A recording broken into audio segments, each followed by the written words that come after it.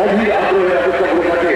সেই সৌন্দর্যকে চূড়ান্ত প্রকাশ দেখার জন্য যে সমস্ত সমরাস্ত্র দিয়ে ভারতীয় সেনাবাহিনীর সমৃদ্ধ তার কিছু কিছু অংশ কিছু নিদর্শন আমরা দেখতে পাই আমাদের সামনে এগিয়ে আসছে সামরিক বাহিনী সিক্সটি থ্রি ক্যাভেলরি স্বাধীনতা দিবসে গণরাজ্য উৎসাহে তারা প্রদর্শন করছে ভারতীয় সেনাবাহিনীর সৌর্যময় অস্ত্র সম্ভার গৌরবময় অত্যাধুনিক T seventy two M one tank সাজানো রয়েছে টাকা এইট ওয়ান ফাইভ ট্যাঙ্ক পরিবহনকারী সকলে মাননীয় রাজ্যপালকে অভিবাদন জানাচ্ছেন ঋষাদ কাশ্মীর সিং সিক্সটি কারণের সূচনা হয়েছিল উনিশশো সাতান্ন সালে অনেক অভিযানে যারা অংশ নিয়েছেন দীর্ঘদিন জম্মু কাশ্মীরে অবস্থানকালে এই বাহিনীর সাফল্যের সঙ্গে সেখানকার নাগরিকদের নিরাপত্তা ব্যবস্থা সুনিশ্চিত রেখেছিল T-72 M1 tanks of 63 cavalry led by Rizal Kashmir Singh.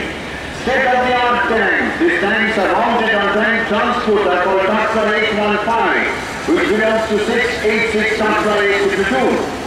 These tanks are equipped with one 125mm gun and two machine guns. Tanks can create a smoke screen wall of one kilometer in time to defeat enemy during battle. They can also be fitted with mine plow. These tanks have deep probing capabilities and are protected in nuclear, chemical and biological war